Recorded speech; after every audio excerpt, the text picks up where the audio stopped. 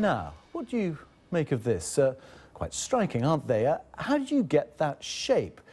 Look carefully and you will see nude models as part of the canvas. It's not just Western models posing for pop art images, the technique has helped persuade women from other societies around the world to celebrate and feel comfortable with their own nudity. Uh, let's talk to the artist behind these creations, uh, Boyarde Messenger. Uh, hi, Tim. Th hi, thanks, thanks for coming in. I mean, they are striking and your eye isn't immediately drawn to those shapes until you look quite carefully. I, I think you call it scopophilia, or it's based on the word scopophilia, um, which to me sounds a bit sort of voyeuristic. Just, just explain what scopophilia is and, and what it means to you. Well, it's a term I discovered at university. It translates literally as the love of looking.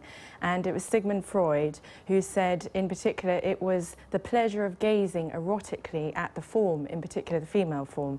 But it was Laura Mulvey, the 70s film critic, who said men did the looking and women were there to be looked at. OK, and I think we've just got one of your photographs uh, here. Now, this is Lichtenstein, I think, isn't it? Bang, bang, bang. Yes. Uh, and, uh, and those are, th those are, those are Western models or normal That's a Western people? model, yes. That's part of the progression that I got from the beginning of the journey.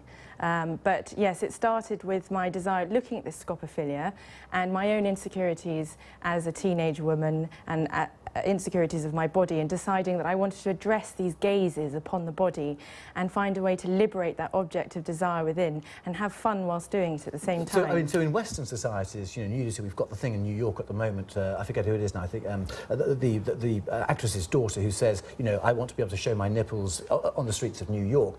But in other societies, uh, nudity is more of a, an issue, isn't it? More of a yeah, taboo. there's negative stigmas attached. So just tell us a bit, a bit about that. And, and, and has this sort of body art changed that in, in, in allowing women to, to be naked in front of people? Well, my journey started when I went to photograph a friend's wedding in Belize in Central America, which is where my husband's from.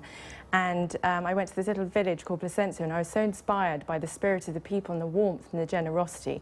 But I was fascinated with wanting to continue exploring the nation, uh, the notion of the gaze on the female body, but it was very negative stigmas. So, I mean, how shy then were these were these women in, in, in Belize? I mean, would, did they refuse? To... It wasn't really an option. In particular, it was a very male. It's a male-led culture. So there was, there was perhaps a threat attached to why I was wanted to do this. Why would she want to photograph them naked? So that's when I decided to get the paintbrush out. And by offering an armour of, of paint on their body, I found a loophole to get through the nudity. And, and did that then sort of transform their view of nudity, not only for the for the women and, and, and for the men? And is it something that, that, I mean, I think in Islamic societies it would be an absolute taboo, wouldn't it? Yes. But, but in more sort of conservative, uh, sort of South American societies, is that something which picks up with the heritage, perhaps, of body painting for the last, you know, thousand years, where people adorn themselves to actually hide that nudity? I, I think so. I mean, it was basically, you're providing an armour,